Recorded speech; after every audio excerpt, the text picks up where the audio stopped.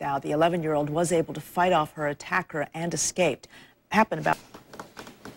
It's looking gloomy again out there, Tracy, at least around here. Well, it feels that way because Uh-huh. it is a chilly, chilly Yeah, wind it that is. we It is have. cold. Let's say 47 degrees. It does. Mm-hmm. It can't be right. Oh no, it is. Oh, it is Are you right. accusing As our little smiles. thermometer of being wrong? No, I thought maybe you were Oh! wanting, wanting to change it.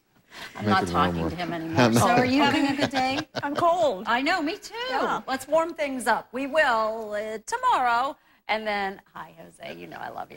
Uh, we are going to see some warmer conditions coming our way here, especially toward the weekend. Let's talk a little bit about rain. Uh, where are we as far as rain for the month? So far, 2.95, so nearly three inches. We usually average a little over three by this time in the month of April. And for the entire month of April, we usually average about 3.68 inches of rain. Today, we get up to a high of about 53 at O'Hare. Average high today is 60, records intact. This morning, we dropped down to 43 at O'Hare. Average low is 41. I think tonight, just about all of us will record overnight lows in the 30s. So if you think it feels chilly out there right now, wait till early tomorrow morning. Trees in the moderate range with that allergy count today. And the other thing we need to talk about, very, oh, look at that, just popping in. This is going to be a freeze watch, uh, or I'm sorry, a frost advisory. It looks like it has just been issued by the National Weather Service office.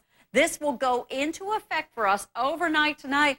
Come, been waiting in the weather office for this to be issued because it does look as though we are going to have quite a bit of frost in the Chicago area tonight. Meanwhile, freeze warnings are in effect in LaPorte County as well as in Berrien County, Michigan. And that is because temperatures there are expected to drop below freezing.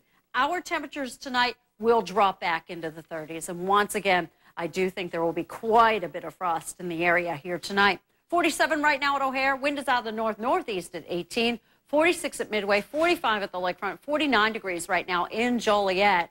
In Peoria, temperature currently at 54, 49 Madison, and 55 degrees currently in Champaign. Overnight, we had significant cloud cover, but it really left us pretty quickly. Now we are seeing mainly sunny skies out and about. The rain pretty much missed us as that system kind of just skirting the far, far southern suburbs of Chicago, brought the cloud cover, and certainly of catching the wily vicious with